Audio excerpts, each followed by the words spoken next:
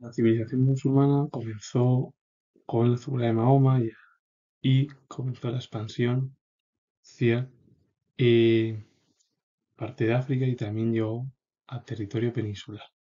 Y fue una civilización en el ámbito cultural y económico y en torno a las ciudades muy importante. La civilización islámica fue una de las más desarrolladas de su época. La economía se sustentó en tres actividades. La agricultura, era muy productiva, ya que los musulmanes extendieron las técnicas de regadío mediante norias y molinos y propagaron cultivos como el arroz, naranja, azafrán y caña de azúcar. También tuvieron una artesanía de gran calidad a través de cerámicas, armas, tejidos. El comercio adquirió un gran desarrollo debido a que los comerciantes viajaban por tierra y por mar, vendiendo los frutos agrícolas y artesanos, y a cambio compraban seda, algodón y especias de Asia, o marfil, oro y esclavos de África y metales en Europa. El esplendor económico provocó el crecimiento de ciudades donde se concentraba la artesanía y el comercio. Por eso el zoco o mercado era el lugar más activo. Damasco, Bagdad, Córdoba y el Cairo fueron las ciudades más importantes. Claro, eh, las tres eh, formas dentro del mundo económico fueron la agricultura, que fue muy productiva, además los propios musulmanes extendieron las técnicas de regadío mediante norias y molinos y propagaron cultivos novedosos como el arroz, naranja, azafrán y caña de azúcar. También realizaron artesanía de gran calidad a través de cerámicas, armas y tejidos. El comercio adquirió un gran desarrollo debido a que los comerciantes viajaban por mar, tierra, donde vendían productos agrícolas y artesanos a cambio, compraban seda, algodón, especias de otros continentes, entre ellos Asia, o marfil, oro y esclavos de África, o metales en Europa. Y por ello, el esplendor económico provocó el crecimiento de ciudades donde se concentró la artesanía y el comercio. Además, el zoco del mercado era el lugar más activo de ahí que muchas ciudades, entre ellas Córdoba, El Cairo, Damasco, Bagdad, tuviesen un papel destacado.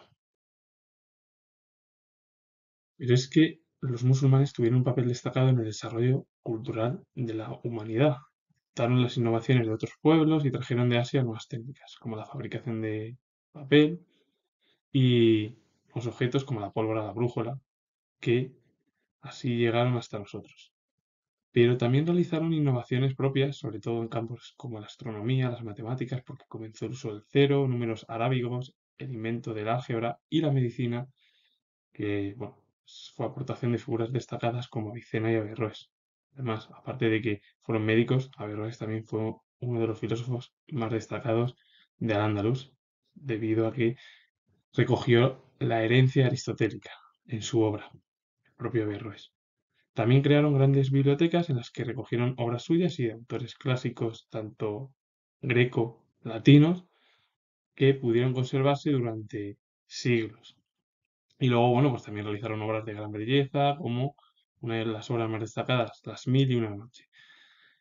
El ámbito cultural de Al-Ándalus, en el ámbito también musulmán, fue espectacular, porque trajeron técnicas nuevas de Asia, como el papel o objetos propios como la pólvora y la brújula, que han llegado hasta nosotros, pero es que también realizaron innovaciones propias dentro de varios campos como la astronomía y las matemáticas, porque eh, eh, los musulmanes comenzaron a usar el cero, números arábigos, el invento del álgebra y también la medicina, pues con, las aportaciones de Averroes y Avicena, que por cierto Averroes dio un mayor aporte al ámbito también filosófico, y crearon también grandes bibliotecas en las que recogieron obras suyas como obras grecolatinas y que se han conservado durante siglos. Y bueno, pues también empezaron obras de gran belleza como Las Mil y una noche. Córdoba fue la ciudad europea más importante de la Edad Media, con más de 100.000 habitantes en el siglo X. La mezquita de Córdoba es uno de los edificios más bellos y valorados por el mundo musulmán. La construyó Abderramán I hacia el año 784, sobre la antigua iglesia cristiana de San Vicente y ampliada posteriormente. La sala de rezos está formada por 19 naves que ocupan un gran rectángulo de 180 por 130 metros. Las naves están separadas por 850 columnas de granito, jaspe o mármol que sostienen dos pisos de arco de herradura y le confieren un majestuoso aspecto que recuerda de alguna manera los bosques de palmeras del desierto. Tras la conquista de Córdoba por los cristianos, fue convertida en catedral y se introdujeron sucesivas reformas. En el siglo XVI se destruyó parte del interior para levantar una catedral y posteriormente el alminar quedó encerrado en un campamento cristiano. Claro, la mezquita de Córdoba es una de las obras más destacadas ya a nivel mundial y dentro de Al-Ándalus de las más importantes. Es verdad que se construyó sobre la antigua iglesia cristiana de San Vicente y ampliada posteriormente y que fue Abderramán I en torno al año 784. Y claro, la forma es 19 eh, naves que ocupan un gran rectángulo que mide 180 por 130 metros. Las naves están separadas por 850 columnas de granito, jaspe o mármol que sostienen dos pisos de arco de herradura y le confieren un majestuoso aspecto que recuerda de alguna manera a los bosques de palmeras del desierto. Cuando se conquistó Córdoba por parte de los cristianos, fue convertida en catedral y se produjeron sucesivas reformas. En el siglo XVI se destruyó parte del interior para levantar una catedral y posteriormente el alminar quedó encerrado en un campamento cristiano. La Alhambra era el palacio de los monarcas nazaríes, fue construido a lo largo de los siglos XIV y XV sobre la colina de Alsabica y se distinguen dos espacios. El espacio público es la parte del palacio en la que el monarca ejercía sus funciones de gobierno se ordena alrededor de tres patios paralelos, el de Machuca, el del Cuarto Dorado y el de los Comares o de los Arrayanes. Las dependencias privadas formaban la zona del palacio en la que vivía el monarca, su familia y sus servidores. Se disponían en torno al patio de los leones al que da nombre su famosa fuente. En el este, en la bóveda de la sala de los reyes, hay pinturas de los monarcas nazaríes. El palacio del Generalife fue construido por Mohamed VII. Era una finca de recreo emplazada en una de las laderas del cercano Cerro del Sol y las dependencias del Generalife se establecen alrededor del patio jardín de la acequia. La Alhambra es uno de los palacios más destacados, se construyó para los monarcas nazaríes entre los siglos XIV y XV, la comunidad de la Sabica, y ahí pues, había un espacio público en la que estaba el monarca, donde ejercía sus funciones, y bueno, había tres patios, el de Machuca, del Cuarto Dorado y el de los Comares o de los Arrayanes. Las dependencias privadas ya era en las que vivía el monarca, su familia, sus servidores, que estaba en torno al patio de los leones, que da nombre así a la fuente, y en el este, en la bóveda de la sala de los reyes, había pinturas de los monarcas nazaríes. El palacio de Generalife lo construyó Mohamed VII, era una finca de recreo emplazada en una de las laderas del cercano Cerro del Sol, y las dependencias del Generalife se establecen alrededor del patio jardín de la acequia. Los artesanos musulmanes alcanzaron tal maestría en la elaboración de algunos productos que en muchos casos dieron origen a piezas de arte, cántaro de metal, encuadernación de un libro, plato de cerámica, arcón de madera. También elaboraban magníficos muebles y biombos con madera y se realizaban excelentes encuadernaciones de libros en cuero. El arte y la artesanía fueron muy importantes en torno más a lo que realizaron. Piezas, los propios artesanos, eh, con diferentes eh, materiales. En la cultura islámica las mujeres eran consideradas como una de las propiedades más valiosas de un hombre, por ello tenían que ser vigiladas y ocultadas. Bueno, el Corán permitía a cada hombre tener un máximo de cuatro esposas a las que debían proteger y tratar de igual manera. Antes de casarse, las mujeres estaban supeditadas a la autoridad de los padres y una vez casadas a la de sus maridos. Y siempre debían obedecer, cuidar de los hijos y de la casa y no podían salir solas sin permiso y la educación siempre se reservaba para los hijos varones. Las hijas tenían el mismo problema que las madres. Además, los hijos varones leían el Corán y aprendían a escribir y a calcular en las mezquitas.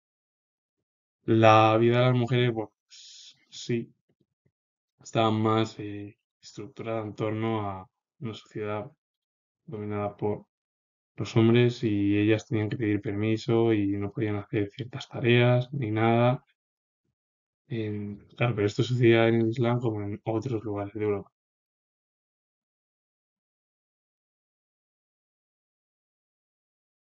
Había diferencias entre las casas de la gente modesta que vivía en una sola planta con muy pocas estancias y una terraza, a diferencia de las personas adineradas que tenían dos plantas, porque el piso inferior era para recibir visitas y constaba de un patio interior y varias estancias, el superior era destinada a las habitaciones de las familias, el hay que decir que era escaso, había alfombras, almohadones, esterillas, tinajas para el agua y el aceite y alguna mesita baja y para dormir utilizaban colchones que se enrollaban al día siguiente y como no había armarios, los baúles eran donde guardaban su ropa y los utensilios de cocina los guardaban en los muros que había con huecos, que eran llamados alacenas. Y las ciudades islámicas tenían baños públicos llamados Hanan. Ahí acudían hombres y mujeres, separados. Y luego había baños que estaban formados por tres salas, que eran pues los baños de agua caliente, tibia y fría. Y ahí se daban masajes y había servicios de peluquería. Igualmente la diferencia entre las casas de la gente modesta, que tienen una sola planta, con pocas estancias y una terraza, se comparaban con las eh, personas con dinero que tenían pues dos pisos, la planta baja era pues para recibir visitas, costaba un patio interior y varias estancias, la de arriba era para las habitaciones de la familia que tenían pues, sus mobiliarios, aunque de forma más escasa, los almohadones, esterillas, tinajas para el agua y el aceite, también había alguna mesita baja y dormían en colchones que al día siguiente los enrollaban y la ropa la guardaban en los baúles. Y en los huecos hechos en los muros, ahí dejaban los utensilios de cocina, llamados alacenas. Hay que decir que había baños públicos, llamados Hanan, y acudían, bueno, pues, hombres mujeres. Y bueno, pues había luego tres salas principales dentro de los baños, que eran ya, pues, baños de agua caliente, tibia o fría, y ahí se daban masajes y, bueno, pues servicios de peluquería, si querían, pues, bueno, utilizar cualquier corte de agua. Del vello, sí. Eh, bueno, pues finalizo. Hay que decir que fue en el ámbito económico una de las eh, civilizaciones más prósperas, en las creación de ciudades también, en lo cultural también, de que recogieron herencia greco-latina. Y luego, bueno, pues la estructura en sí aquí en la península ha sido espectacular, más por las obras que han dejado eh, la cultura andalusí. Finalizo, comentar que tengo la historia, si os ha gustado el vídeo, darle a like, suscribiros y